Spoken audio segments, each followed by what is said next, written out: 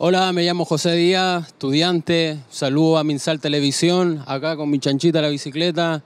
Por asuntos laborales la uso harto, pero también deja un beneficio en salud, así que agarrando el beneficio por donde, por donde lo podamos agarrar. Un saludo, chiquillo.